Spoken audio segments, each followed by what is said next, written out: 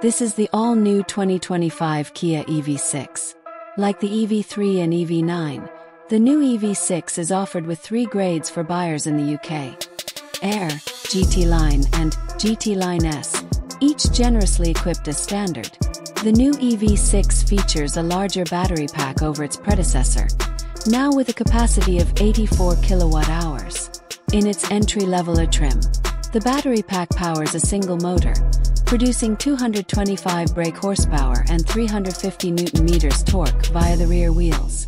The EV6 Air is capable of an impressive range of up to 361 miles on a single charge. EV6, GT Line, and GT Line S models can be ordered with the same rear wheel drive setup as the Air, or with a dual motor all wheel drive setup. The EV6, GT Line RWD is capable of up to 361 miles on a single charge, while the GT Line SRWD can travel up to 347 miles on a single charge.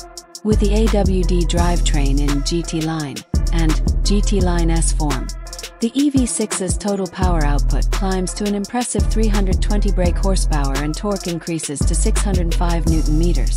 Even with a significant increase in power, torque and acceleration over the RWD variants, the AWD EV6, GT Line, and GT Line S variants can travel up to 339 and 324 miles on a single charge respectively.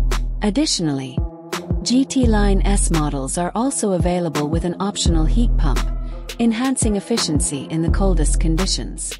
The new EV6 also features an improved battery charging curve over its predecessor, with cutting-edge 800V technology and a peak charging performance of 258 kilowatts, 8% more than previous EV6, 239 kilowatts.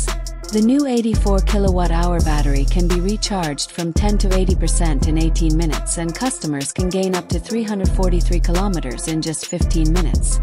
UK customer deliveries will start in Q3 2024, with customers able to choose from Air, GT Line, and GT Line S variants from launch.